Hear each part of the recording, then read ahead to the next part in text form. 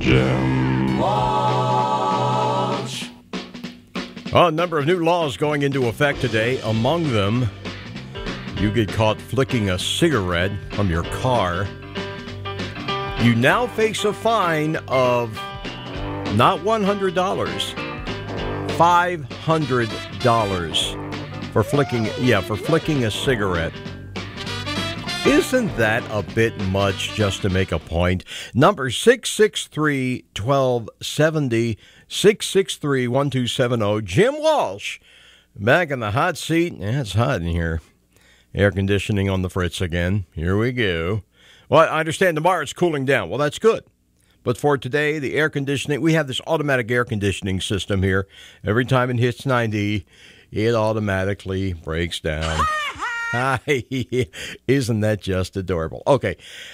Jim Walsh here. Name of the show is Bizman Weekly on Super Talk 1270. New driving laws going into effect today, a number of them. The one uh, to focus on is this new fine for littering. No, it's not fine for littering in North Dakota, but you will get a fine for littering. 500 bucks if you're caught flicking a cigarette butt. Really? Used to be 100 bucks. You would think that would be enough to get people's attention, but they decided that they're going to up the level to 500. Seems a bit extreme, don't you think? Seems very extreme. 663 1270 Here's the deal. Uh, uh, there's some other laws going into effect today as well. Uh, uh, new laws about texting and driving. Uh, they're going to fine you a hundred bucks if they uh, catch you doing it. If you're playing around with your, your smartphone while you're driving, they can pull you over now. If if they see you do it, that's a big key, that's a big key thing. And it will cost you a hundred bucks. And there's another law taking in effect uh, taking effect if uh, children under the age of eight are not in a booster seat. You can get a ticket. Uh, they have to be taller than four foot nine or older than eight years old. Otherwise, got to be in the booster seat. So everybody be safe and uh, know the laws.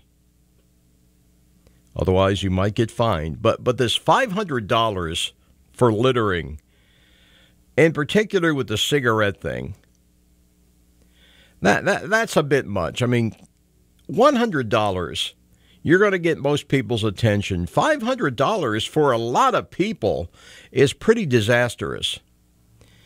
Remember, there's a lot of people out there right now who are literally living from paycheck to paycheck.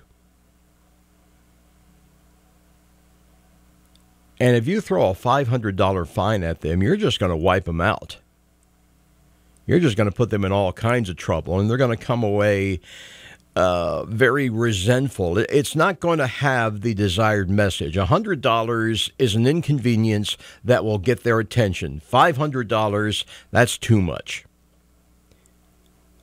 Do you not agree with that assessment? Where do you stand on this? Number 663 1270. New driving law going into effect today. If you litter, Particularly, they're talking about the cigar- the thing with the cigarette butts. And yes, there is a drought going on. A lot of people will say, well, there's a drought, you know, they got to keep the, the dry conditions and the forest fires. Well, as an emergency temporary measure, it's one thing, but this is not designed for that. This is not something that's going to go away uh, as soon as the drought emergency is over. This is designed to be permanent. Permanent. Permanent. I, I have trouble saying permanent. I get mixed up. Where was I? Oh, yes. this is another case of a law. It's feel good legislation. It's not really going to get the job done. You're just going to wind up hurting unnecessarily a lot of people who are not made of money like a lot of folks in the state legislature. When the people targeted don't have much in the way of money to begin with, you only create more problems and a sense of hopelessness. Those folks who are making the laws, a lot of them, can't really understand how difficult this kind of monetary bullying can be. And is it really going to work? There's evidence that it won't really work. Get more into that in a few minutes. But where do you stand on this? Imagine you flick a cigarette butt out your window and the cop happens to catch you. That's a key thing. They have to actually see you do it. And a lot of us think we're real sneaky about it. Is there a cop coming? Is there a cop car? That car behind us, can that be a cop car? Yeah, I don't think it is. Okay. And out goes the butt. and it turns out it is a cop car. You get pulled over. And the cop, if he's in a really bad mood or if you give him a lot of guff, he's probably going to give you the fine, uh, the penalty. Five, $500 for littering. Isn't that a little bit out there to make the point here? 663 1270, Jim Walsh on Super Talk 1270. Online at supertalk1270.com. Be right back. Right now, 74. Here's Sean Hannity, weekday afternoons on Super Talk 1270. Beginning today in North Dakota, anyone caught littering or disposing of cigarette butts improperly along North Dakota highways will face a fine of $500. That's up from the previous fine of $100. How stupid is that? Very bad idea. Very bad. 663 1270. You tell me if you think likewise or you think otherwise. $500 for littering. It's not going to work, and you're just going to hit all the wrong people in the pocketbook, the people who can least afford it. 663 1270. Jim Walsh on Supertalk 1270. Also, supertalk1270.com. Uh, you can also listen on your iPhone, your smartphone, and your ever loving droid with that great app from Town Square Media. It's called Radio Pup. It's free and it's powered in Bismarck Mandan by CK Auto. Take a look at a state that tried something similar. In fact, they went even more extreme. The state of Illinois, the land of Lincoln. You remember Lincoln? Was that a town in North Dakota? Anyway, in Illinois, a few years ago, they decided they had enough of the butts on the highway. Get your butts off the highway. So they passed this law raising the fine for littering specifically cigarette littering, to $1,500. $1,500 and a misdemeanor for a first offense. And on the third violation, it gets all the way up to $25,000 fine and it's considered a felony. You're a repeat offender. If you keep flicking them butts, you can be slapped with a felony in the state of Illinois. Some people think that's what we should do here. No, not good. First of all, you have to ask how well does it work? How much of an effect has this really had? In the case of Illinois, it really didn't have much of an effect at all. According to a Fox News affiliate, Illinois State Police wrote very few citations statewide in the first three months of the law in 2014 because the fact is, as is the case here, they can't ticket someone unless they see them toss a butt. The station reports two counties in Illinois issued no citations at all in the first three months. Now, with the litter law, they say the best hope is that the law is an it's a deterrent on its own. That's part of the idea here. Remains to be seen how well that works. It, it can be a deterrent to the cops. That we know. Because a lot of policemen, you know, police are they're human beings too. They're they're family men, family women. And it is a fact that uh, a lot of police well, they probably feel bad about issuing these high cost tickets for what they consider to be a low priority offense. But another measure of success, of course, is whether it actually does what it's supposed to do in decreasing the litter. Uh, it's probably too soon for the hard data, but the Alliance for Great Lakes, it's a group in the Illinois area, they do beach cleanups on Lake Michigan. They say they have not seen a downward trend in cigarette butt litter. The volunteers go out and they collect it. They have not seen any serious decrease since the law took effect. Uh, they don't have specific numbers, but uh, one spokesperson says the big picture is that the cigarette related litter is still the top item overall that volunteers pick up at the beaches, even those that have the smoking bans. A lot of this, of course, comes out of the holy war against tobacco. And make no mistake about it, smoking is not a good thing. But again, as we uh, talked about previously with Breathe ND, which happily we no longer have in this state, they ran out of money, so decided to close up shop, turn uh, turn the whole enterprise over to uh, other departments. Their whole their whole shtick, their whole the whole thing with Breathe ND, of course, was smoking is icky. And of course, there's nothing you can do that would be enough to uh, uh, stop smoking. It's all justified because if one person stops smoking, blah, blah, blah, blah, blah, blah, blah, blah, you know, all that kind of nonsense. I think if only one person stops smoking, I think it's uh, uh, it's, a, it's it's pretty pathetic when you think about it.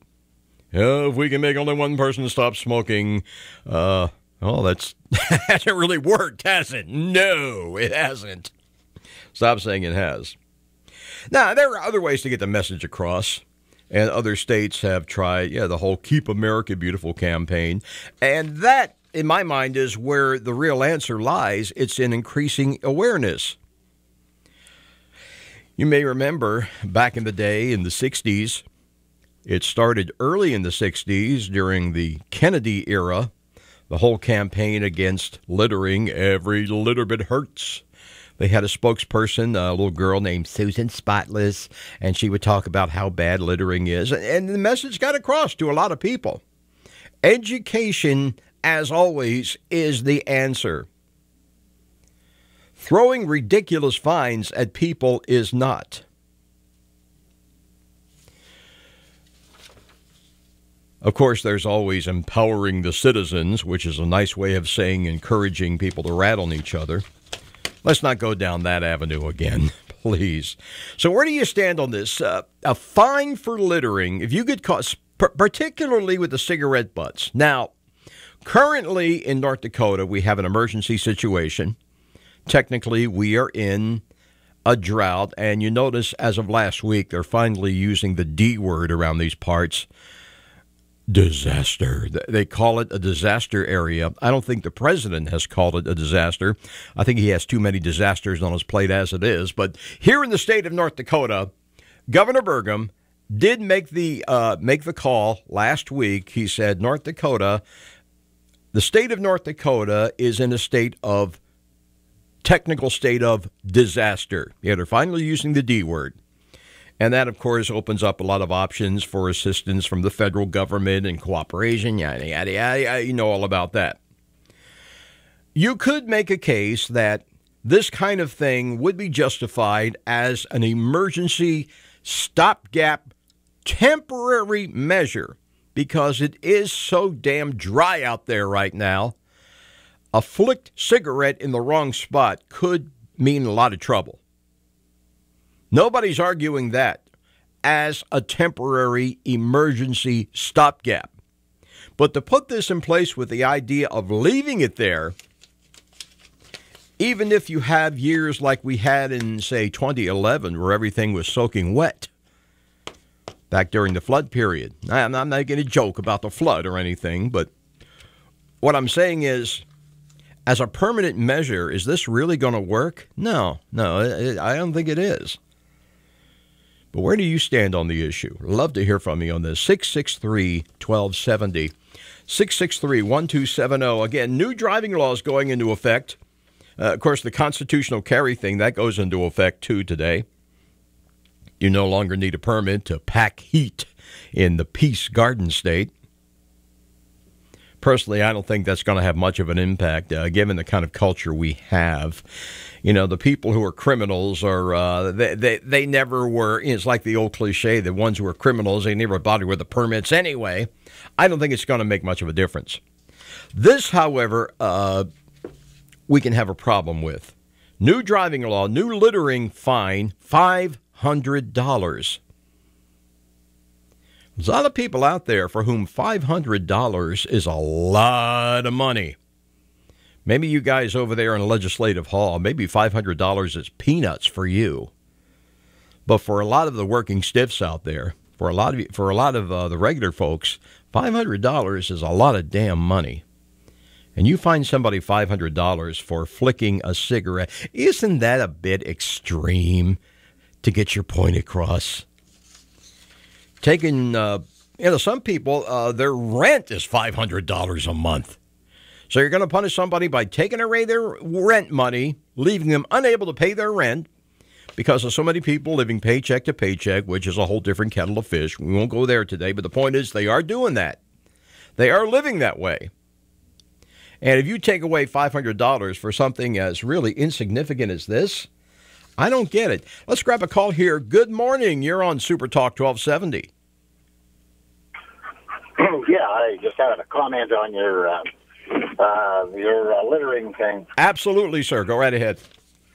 Okay, as we speak, I'm driving out to pick up a whole bunch of crap that some jerk uh, was driving down a county road and figured out here here's a kind of a side road nobody goes down right and there's a great big bunch of junk there and um you know we used to and and are you going to come and help me pick that up? It'll take me all afternoon and uh right now i'm pulling a trailer behind my truck because that's what it's going to take to pick up that crap. Now to me five hundred bucks is not enough for that kind of a thing. I have no comment on the cigarettes. I think that's probably a little overkill, but but yeah, you're hammering that. Uh, but uh, we used to live out east of uh, east of Bismarck, and it was amazing the stuff that people threw out there. They threw out couches, deep freezes, old fridges, and and uh, you could see where people would drive out in somebody's private property and change their oil and leave the oil filter and all the oil stuff there. It's people uh, people like that are slobs, and as far as I'm concerned, heck, five hundred bucks. That's uh, if they can't afford it, they damn well better learn not to do it. I appreciate like your input. No comment on cigarettes. Okay, I appreciate your call, sir. I sincerely do. Thank you very much. So, do you think $500 is appropriate for littering? To me, it seems a bit much. Maybe you think otherwise, like that fella.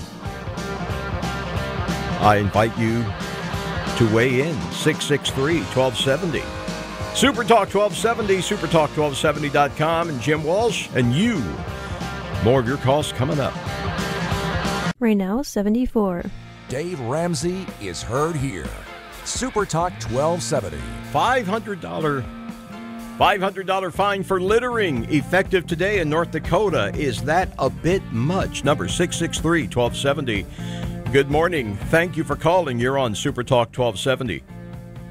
Um, I just want to take in. I agree with the previous caller. You do. It's a choice. You do not have to throw your garbage or your cigarette butts out the window. It's so simple. Okay. So five hundred dollars, in my opinion, is not a problem. If anything, it's probably higher. Don't do it. Okay. Well, the thing is, like I say, there's a lot of people out there. You find them $100, you are going to get their attention. You find them $500, you're going to wipe them out. You're, you're not going to wipe them out. They have a choice not to throw the damn cigarette out the window. For the rest of us have to go drive by it, pick it up, clean it. No, they have a choice. They don't have to do it. And $500 wipe them out, that's their choice. They chose to do it. So it, it, I don't think 500 is too much. All right. Thanks for the call. Thank you. Thank you. 663 1270. Oh, we have a difference of opinion. Oh. oh, how quaint. No, uh, b- back to the issue at hand here. $500. What I'm saying is that $100 it sounds reasonable to me. $500, it's a bit excessive to me. For one, I mean, think about this. Think about the physics of this. One cigarette butt. You flick one cigarette butt out the window, a $500 fine? And it, it, it doesn't add up for me. For all the things that people do for which they probably should get a 500. I'm not saying they shouldn't find them anything. Never said I never said that. What I'm saying is 500 is a bit much. That's all. 663 1270. Jim Walsh here on Super Talk 1270. I got to got to talk about um, the age discrimination thing. It came up again. And of course, on a radio station like this, a lot of folks a lot of folks who listen to a, a station like this, they tend to be uh, a little bit older. Uh, they tend to be uh, maybe uh, the boomers, maybe some of the older generation Xers. And there was a story, it came out of Iowa about a fellow who wanted to uh, be part of a. Uh, let me, let me pull the story up here. He was a writer and he wanted to get in on this writing workshop and they turned him down. Well, after they found out what his age was, it just so happened they turned him down. He's 68 years old. And apparently, this is a regular thing, this guy says. If you look at these writing workshops and these awards for great writers of tomorrow, they generally give them out to the younger guys. And it brings up the whole question again of age discrimination. I do want to get to that in just a moment here. Good morning. You're on Super Talk 1270. Yes, sir. Good morning. Hey, how are you I doing? Co- I got a comment about your uh, cigarette uh, issue there. All right, let me have it. All right. Uh, when I, I was uh, drafted in the Army, and when we uh, had to pull our uh, daily duties, we had to go out and pick up them cigarette butts and uh, pick them up whether you smoked them or not. And uh, if you didn't police the area and come back with at least a coffee can full of cigarette butts, they sent you out again. Right. So I had a real distaste for cigarette butts. And uh, you especially notice it in the cities at a stop sign. Some of these guys feel it's their responsibility to dump their ashtrays right at the stop sign on the street. Well, that is ridiculous. And yeah, and it, it, it's just disgusting.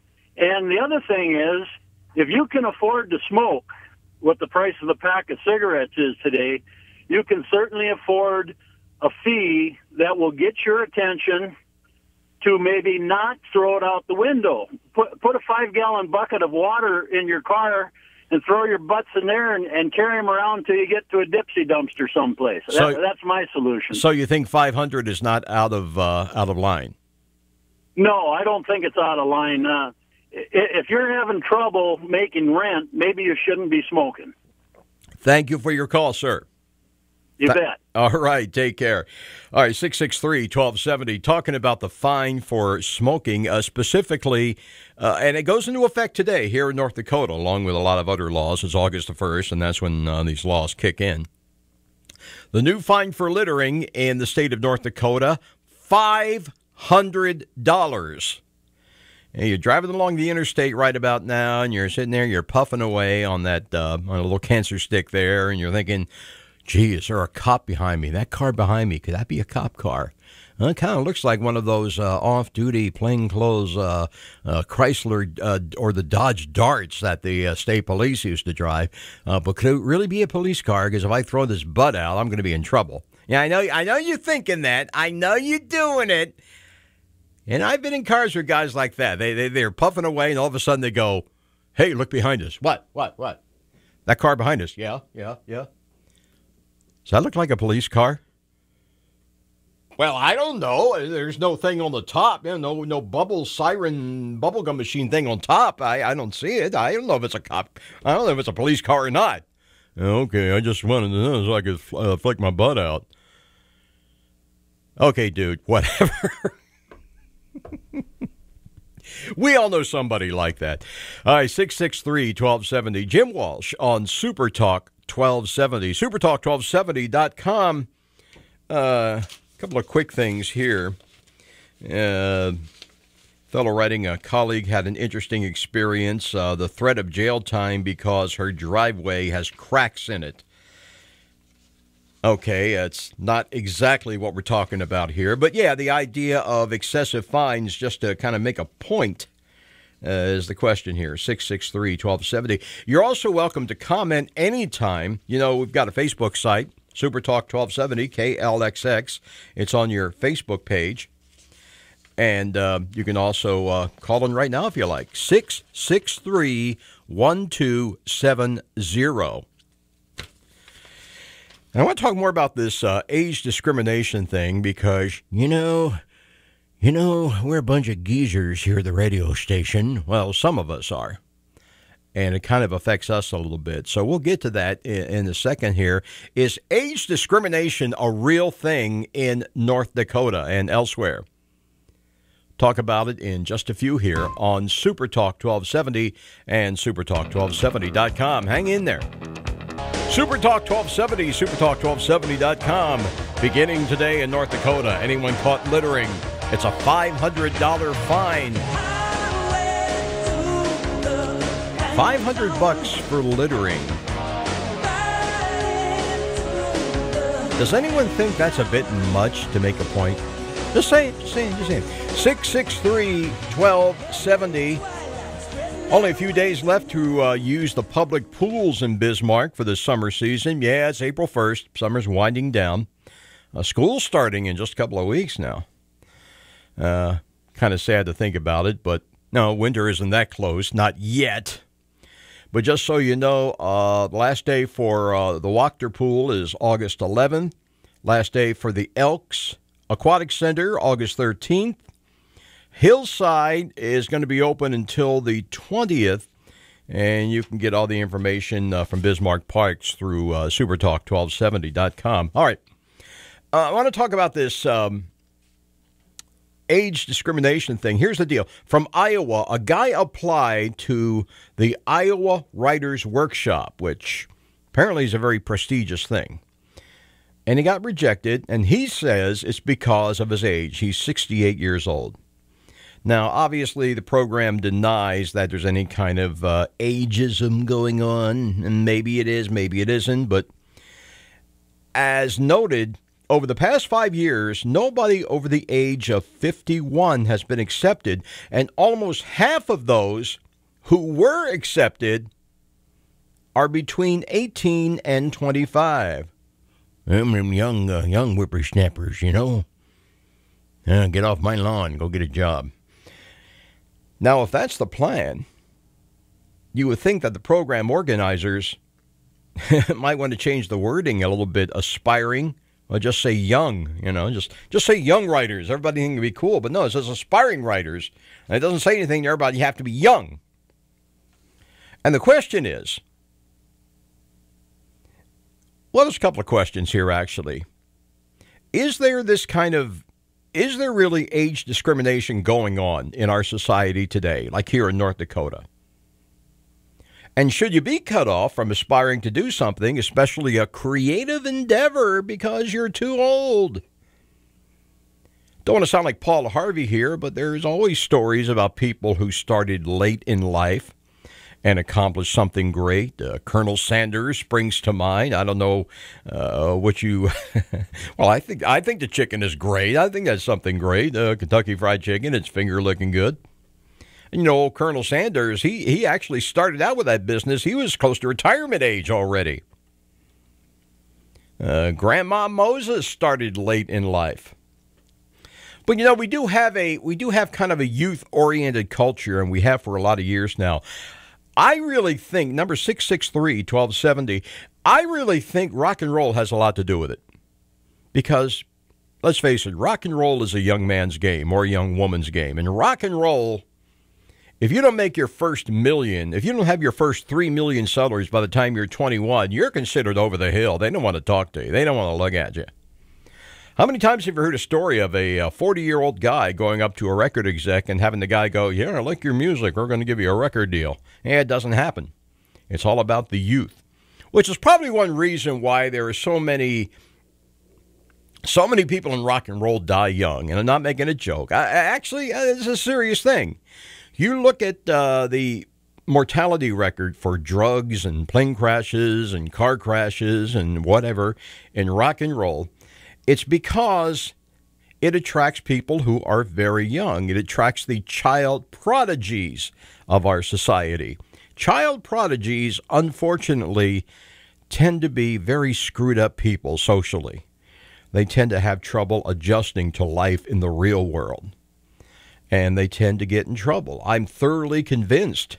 Uh, you look at all the uh, some of the uh, great stories of rock and roll, especially the people who died young. The uh, the not so much John Lennon, he was murdered, but you look at what happened with the Beatles with all their issues. They were all very young guys when they started out and they were making a lot of the kinds of mistakes that you make when you're young and brilliant. Elvis, too, for that matter. The ones who work out, the ones who survive and uh, seem to be okay, they, if anything, they seem to be the exception. But there is this youth fixation in this society. But the question that's not the same as saying that there's age discrimination. But I tell you, I know a lot of people who are right around my age. I'm 61 now. I know a lot of people in my general age group who are out of work, who have had all kinds of trouble finding a decent job. And of course, they never say it's, because you're old. They never say that. But you got to wonder. You got to wonder if that's an issue. You really do. 663 1270. Is there ageism? Is there age discrimination in North Dakota? 663 1270. I mean, look, a lot of guys don't really get their second wind until they hit a certain age. Look, I'm 61. I consider myself right now, no joke, to be in the prime of life. Maybe not physically, but in terms of, uh, let's just say that I, I consider myself to be very much the man that I aspired to be when I was younger. Okay, it took me this long, but finally got there. You're probably in the same boat. If you're around my age, you may be in the same boat. You know, being 61, being uh, 50 or 60 or even beyond, uh, it's not, it shouldn't be the stigma that it used to be because people are living healthier, healthier. They're not smoking or drinking or not doing it as much. People are exercising. They're getting more active. They're living better.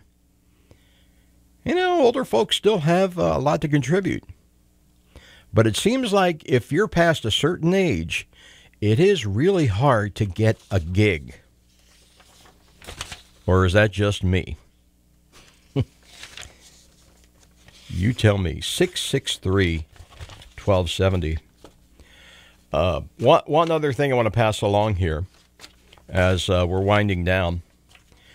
You know, uh, Scaramucci, Scaramouche. He never did get to do the Fandango, but he uh, he lost his gig. He quote resigned unquote Of course, who knows what really happened in uh, the current administration? it's anybody's guess. But this Scaramucci guy, uh, known for his uh, rather salty vocabulary, he lasted all of 10 days and then he was out the bleeping door.